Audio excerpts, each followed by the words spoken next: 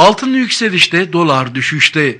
Fed'in faiz artırımı yapamayacağı kararını alması üzerine yükselişte olan dolar düşüşe geçerken altındaki yükseliş de devam ediyor. Dün günü %1,4 yükselişle 116.045 liradan tamamlayan altının gram fiyatı şu sıralarda 116.33 liradan alıcı buluyor. Nizip'te çeyrek altın 187, yarım altın 374 ve Cumhuriyet altını ise 748 liradan satılıyor. Analistler altının gramında 120 liranın direnç ve 112.25 lira seviyelerinin destek olarak takip edileceğini belirtiyor.